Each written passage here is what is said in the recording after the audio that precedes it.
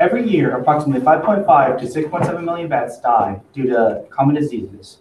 Hello, my name is Michael Estabrook, and today we're going to be talking about the war on bats. The reason I chose bats is I find bats very interesting. Ever since I was younger, I would watch documentaries and TV shows that would relate to bats, such as Steve, Steve Irwin, um, Animal Planet, and the movie We Bought a Zoo, um, directed by Cameron Crowe. Sorry. Um, some facts about bats is that bats are mammals. Um, one fact that I found out is that they give birth to live young, and their young typically take four to six months to mature to the point of being independent and being able to find their own food. Bats are insectivorous, which mean which means that they um, eat bats. Um, approximately 70% of bats are insectivorous, and the other 30 um, eat fruits, and some drink blood. Sorry about that. Um, bats are also a great form of insect control. They typically bats will eat 40% to under 100% of their body weight. Um, for my research, I focused on two types of two common diseases in bats. I focused on white nose syndrome and rabies. White nose syndrome is an invasive skin infection, fungal skin infection, excuse me, that um, attacks the fat storage. Nose syndrome was first discovered in 2006 in New York in a local cave. It has a 75 to 100% mortality rate and as of right now, the only cure is if, sorry, um, nose syndrome is transmitted via clothing or trash that is left in caves whenever people come to visit. And every year, once again, approximately 5.5 to 6.7 million bats die just due to white nose syndrome.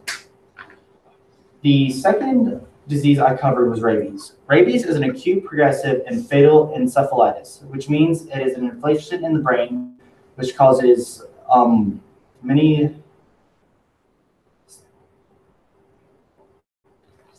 sorry.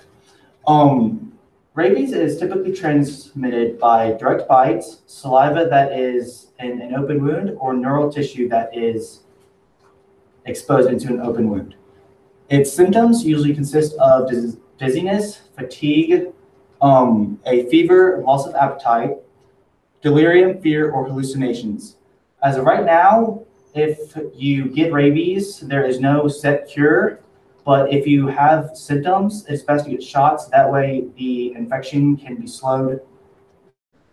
Um, for my product, I made a bat house. Bat houses my bat house was 26 and a half inches by 12 inches by one and three fourths inches. My bat house took me approximately eight hours to make, and I did it in my local garage that I have in my house. Bat houses are very important. Bat houses allow um, bats a safe place to rest, and it allows them to be safe from the diseases.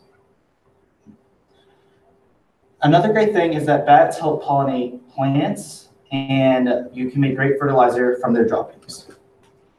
For my product, I used a power drill, a circular saw, a caulking gun, a paintbrush, clamps, and a level. Um, for the process of my bat house, I pre-drilled holes. I then made grooves into the wood. That way the bats can latch on and climb in. I then chalked pieces of wood that way it would seal it. Um, this is me using the clamps to make sure that they actually seal properly. And those last two are me painting the bat house. For my challenges, I had financial, financial management and mentor issues. For financial management, a, I, before I never really had a sense of fiscal responsibility.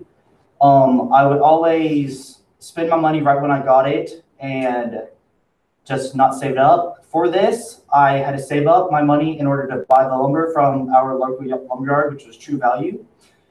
And actually, I made a budget for that. Um, for my mentor issues, I had a lot of trouble co um, contacting my mentor. So most of my product, for most of my product, I had to do it by myself. Thank you. Do my judges have any questions?